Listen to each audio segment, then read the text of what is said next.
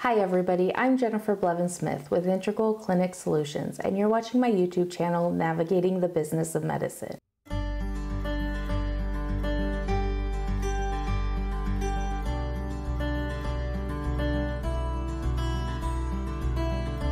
Today I want to discuss things that should be thought about and established before posting to hire a new doctor or mid-level provider in your practice. I also want to discuss the hiring process, such as interviews, and things that you should consider before bringing on a provider to your practice. Now, whether you have just opened your practice and you're needing another provider because patient demand is high and you grew faster than you anticipated, or you need assistance with taking off the clinical patient load so that you can focus on the business and administrative stuff, Either way, you're going to want to consider these things that we discussed today before hiring anyone. The first thing I would do is talk to a CPA and decide if you have the revenue to take on another doctor or mid level provider's salary you want to consider not just their salary, but the whole package in general, and that includes the benefits.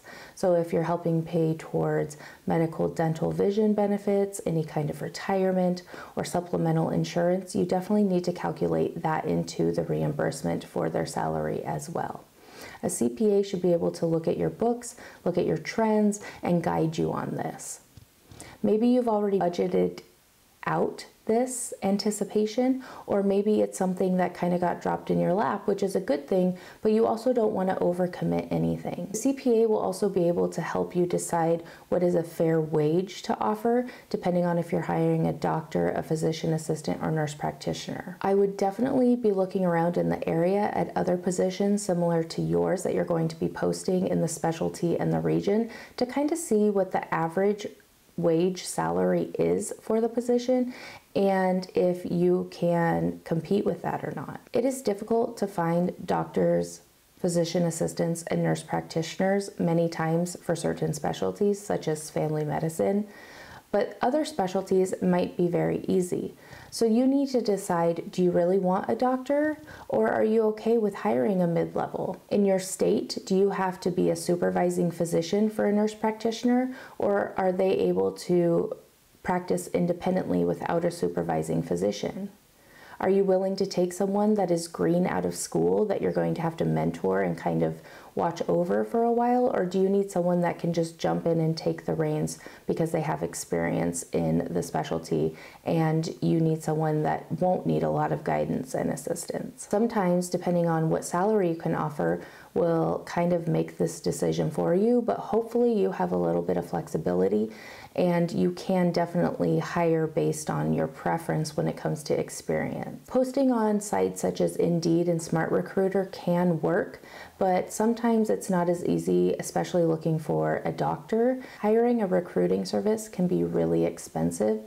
So I would encourage you maybe to get in touch with other colleagues in the area and let them know that you're looking for someone. Maybe they can network for you or they know someone who is looking for a new position elsewhere. Or maybe even reach out to residency programs for the residents who are close to being done and gonna need a real world job, if you will. Also, develop a really good rapport and maybe even become a rotation site for your local physician assistant and nurse practitioner programs and maybe even the medical school so that you can get medical students and maybe even residents coming through as well.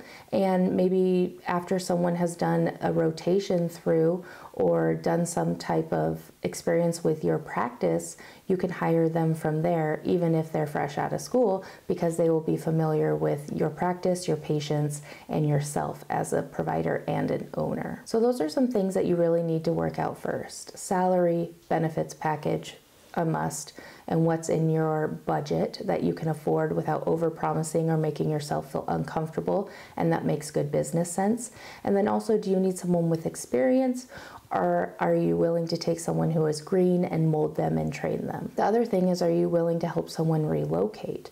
That might cost a little bit extra, but it might be a little bit intriguing. It's just something to consider. Maybe you can help with partial airfare or airfare if they're going to fly here. Uh, maybe help with some moving costs or first month's rent somewhere. I don't know, you can be creative, but those are things to think about. The next thing I encourage you to think about is what kind of personality do you need in the office? Now that you have your staff hired and you have been seeing patients and you know the demographic of your patients, what do you think is a good fit for personality? That's a big deal because you don't want to hire someone that your patients don't like, and you certainly don't want to hire someone that won't get along with the majority of your staff. Now, of course, you're never going to make everybody happy, but this is definitely something I would put some time and attention into. I would also put down the expectations for this role. Are you going to need them to cover a certain amount of call, a certain amount of vacations? What's their schedule going to look like just every day working? What hours are they going to be working? Which days? What kind of patients are they going to be seeing? How long is it going to take you to get them contract and credentialed? That's a huge thing because that's going to determine when their start date is going to be. And they're going to need to know that so that they know when to put in their notice if they're working elsewhere and also how they're going to be compensated maybe pay their bills or whatever during that time frame if they quit early and you have to give 3 months in order for them to be contract and credentialed. Everybody's contracts are different with their current employers. They might have a non compete clause, they might have. Um, you know, they have to give certain amount of notice, and those are things that you want to ask during your interview. Those are things you need to consider as well. I would definitely be letting your contract and credentialing company or person who is in charge of that know that you're wanting to hire another provider so that they can get ready and have everything prepared for when you do so they can be in communication with that individual and get everything they need in order to start that process. Contracting credentialing could take up to three months, sometimes longer, depending on the type of health plan, like the military insurances, can take a lot longer. And the sooner you can get all that information from the individual you hire to start that process, the better. Okay, so you've thought about all of these things and you're ready to post. You post for the position and you have some candidates. I definitely would be doing phone screenings or Teams, like a video conference screening, and then I would want to meet the individuals in person if they passed your screening. You definitely need to have other people involved in this process as well instead of just you. So, if you have a manager or your contract and credentialing person maybe has a management position that can help you, another colleague that is good at interviewing and reading people, because you want different perspectives from different individuals and you want their feedback on how they feel about someone. Someone might be really good at interviewing, but maybe someone who is sitting with you and interviewing this candidate will pick up on some subtleties that maybe you hadn't. I would definitely be asking about their licensing. I would go into the online portals for whichever medical or nursing boards in which they're licensed currently and look and see if there's any disciplinary action that has been filed or stipulations. I would check in to find out if they're board certified or if they're board certified eligible. That means that they might not be board certified, but they're eligible to sit for the boards. A lot of insurance companies will not contract with doctors anymore unless they're board certified. This is a big deal because you don't want to hire someone on that the insurances won't contract with and you lose money because you can't see the patients you thought you would be and bring in that revenue. Establish this early on. When you review their CVs or their resumes, make sure that they have listed everything. And if it seems like they're not staying at jobs very long, definitely ask why. And they might have a very good reason of why they've changed jobs, or maybe they have a very well rehearsed explanation. But either way, you need to address that and let them know you're aware of it as well. In my experience, it's not good to see someone who has jumped job to job every few years, especially if you're looking for someone to be there long term. When you post for this position, hopefully you're putting down all your expectations that you expect someone to stay long term and establish a practice with you and want to grow the practice with you. Those kinds of things are going to help you recruit the right person. I would also be looking at their resume to see how often they're doing their continuing education and if they're attending any kind of conferences on a regular basis to stay up on the ever changing world of medicine. Those people that do that, you can see are showing that they want to stay up to date on things and they're engaged and want to be the best doctor that they can. Definitely ask about references. Of course, people always give you the references of people they know that will give them good reviews. But I would also ask if you can contact their past employer or two. Depending on if they say yes or no, maybe that will give you some insight into that. Hopefully, they say yes so that you can contact them. I would definitely look on the OIG website before you interview to make sure that they're not excluded from Medicare. And I would definitely ask them about how they handle different types of patient demographics, especially depending on what kind of patients you see in your office. Do you see a lot of Medicare and Medicaid patients, homeless patients, former drug addiction or current drug addiction patients? Are you in a community that really needs someone who cares. Because if someone who doesn't really care about taking care of those kinds of people maybe isn't the right fit. After you do the in person interview, the candidates that you really like, I would encourage you to have them come in and look at the clinic and watch workflows and maybe even meet some of your staff.